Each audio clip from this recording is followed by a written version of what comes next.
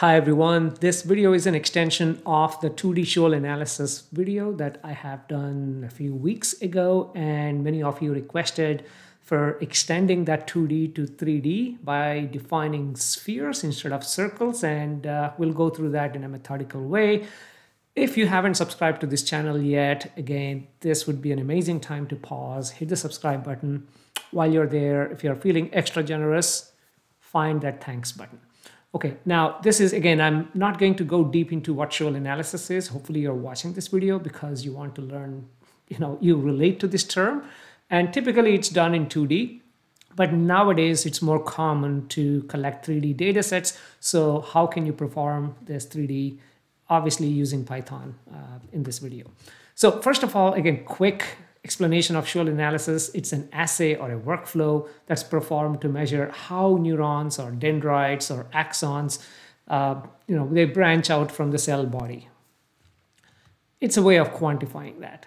Now, in what context is it usually performed? To compare neurons' morphology between different cell types or conditions, and also to kind of assess the changes in the structure of the neurons during the development of a disease. There are various reasons why. These are a couple of uh, the reasons uh, I just mentioned. Now, what exactly is it? Well, I, I just crossed out 2D part and put 3D here, right? So what you do is you put a series of concentric spheres. In 2D, it was circles. Here, it's spheres overlaid on an image of neurons. So let's say you have a soma, which is the center of these neurons, uh, you know, and then you put like a series of spheres right around it. These are hollow spheres and you look at where these spheres intersect with the neurons and how many of them, and that's it. It's as simple as that. So they're centered around the uh, cell body, and the number of times you count like the neurons or the branches, you know, they intersect with the sphere. This is what we count and we plot. As simple as that. Now let's quickly jump into the code and see exactly how we can achieve this. And you'll see that I have written quite a bit of this, uh, you know, uh, text here. And that's obviously for you to go through this in detail. But what are we trying to achieve here? Just very similar to the 2D process for 3D, I have included two methods here. One is automatic method, the other one is manual method. By the way, I also updated the 2D part uh, by uh, changing it a little bit, but here let's focus on the 3D for now.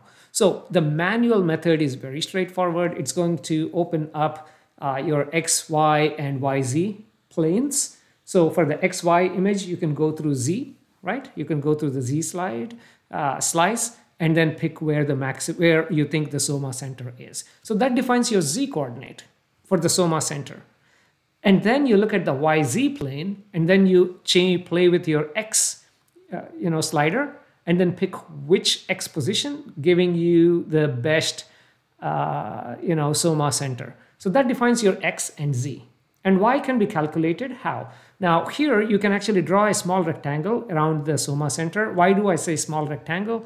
Because if you just put a spot maybe slightly off, the goal is you put a small rectangle, it tries to find the center of that, and then that gives you the X and z uh, values, but at the same time, it also gives you y, right? When you pick the center in these two planes.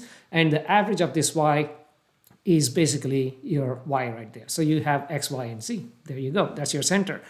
Automatic method is what I prefer, which is basically the code identifies the soma by finding the region with the highest intensity. How do we do that? We create, we define a cube of certain size. Uh, I set it to 9 by 9 by 9. You can change it. So there's a 9 pixels by 9 pixels by 9 pixels cube that goes through your entire volume and it actually calculates the maximum intensity within that and wherever it calculates that the center of that cube where it finds the highest intensity is what we uh, identify as the center or the soma here. So it may work, it may not work. That's why we have manual method.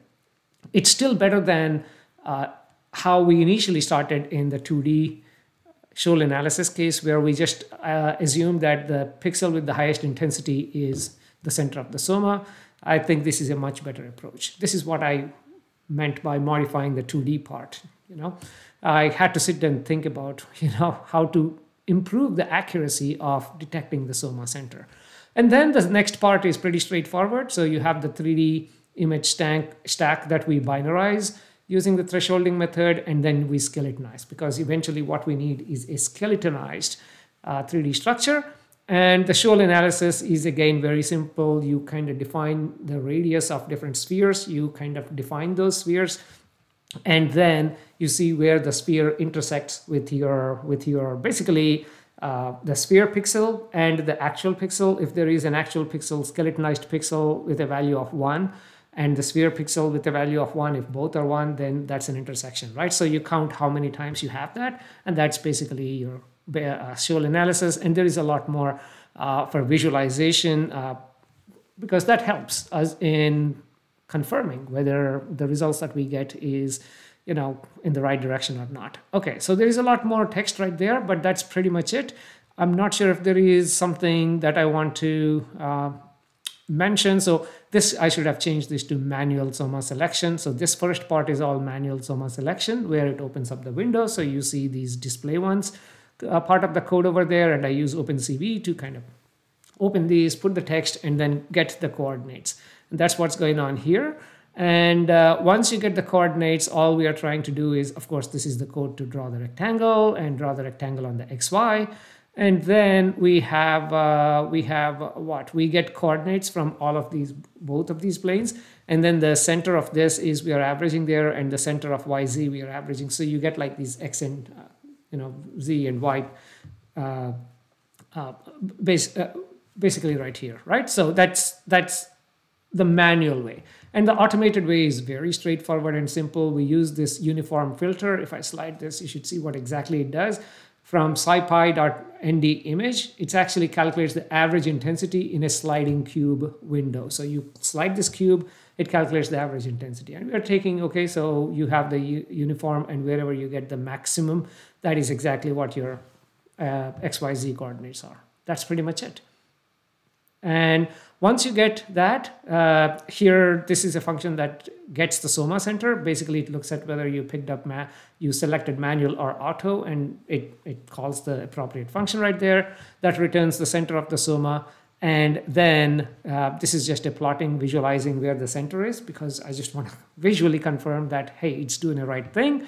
And then performing the Sholl analysis is basically you have this, uh, you're creating these, uh, these, these spheres and you're looking at the intersection of these. Hey well, the shell like here and whatever you know uh, from your soma if the values are one. If it's one and zero it doesn't make any sense or it's zero and one but both cases if they are one then we actually get uh, an intersection and you count how many intersections you have. That's it and everything else is plotting so i want to look at the 3d skeleton in a 3d plot just to get a quick view and the shell Sholl profile of obviously that's what you're doing this entire exercise for and plot the 2D projections so I can see the Sholl in 2D. So, you know, that's that's what we are typically used to. And also I'm dumping this uh, neuron with spheres plot into, into Plotly. I think that's the last one here. So we can kind of do some interactive visualization. I think that's it. I'm pretty sure you're all eager to see how this actually works. So let's go ahead. What did I select? Let's go down all the way to the main function. And what did I select? Oh, that's a, what did I select? I selected manual, right? So let's do the manual first and then the auto and then end this video. So let's go ahead and run this. It should open, by the way, while it's opening, I should have showed you exactly what I have. This is what I have here. This is the 3D volume. Yeah, it doesn't look like much. It doesn't, oh, sorry. It opened these two, but I just want you to have a quick look at this volume first. This is the raw image. You see how you can see all these neurons in, in, in this plane. Now I can switch to, where is my, where is my Fiji? Let me actually change my plugin to 3D, uh, 3D viewer it should open a 3D viewer anytime. So you can get a feel for how this volume looks like. And uh, that's okay. Let's, uh, it's on my other screen. Let me pull this up here. Okay, is it showing up? Okay, there you go. So this is the volume we are working with. You see, that's the neurons.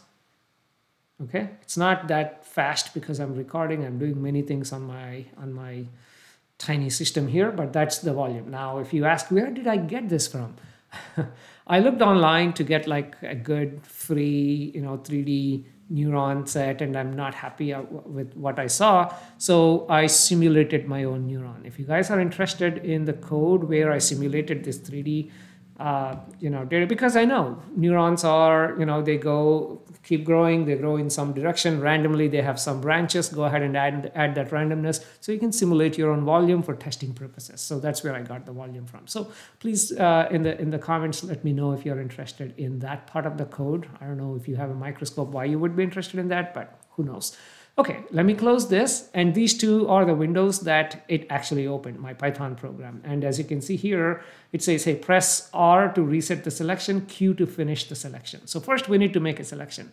This is a 512 by 512 by 512 volume. So by default, it opened up slice numbers 256, Z, and X uh, slice 256 and this is the yz plane obviously and this on the left hand side is the xy plane. So I, uh, I can actually go through this entire thing and uh, actually see but I know I placed my soma in 256 like the brighter spot right there. So let me just go ahead click and drag.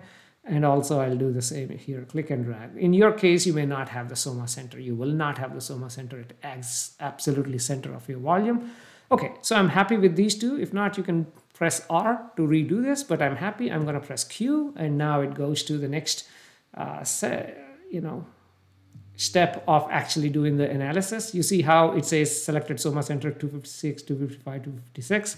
Not bad, huh? Well, these two 256 came from our selection and this 255 is what it calculated based on the rectangles I provided. So now it's actually performing the actual, you know, skeletonization and all that kind of stuff. So uh, because it's too busy uh, recording and doing a few other things, it may take a few seconds. It's a large volume, well, relatively large volume for my small system. So I'll pause the video and let's continue as soon as it's done, probably 10, 20 more seconds. Okay, so there you go, it's done. And let's click on the plots. This is why I like my Spyder IDE. I can see everything right here at one place. And let's go ahead and expand this. Uh, let's move this quite a bit. Okay, so starting with what? Starting with these three where you can see how it, it let's expand even more, where it put the Soma center.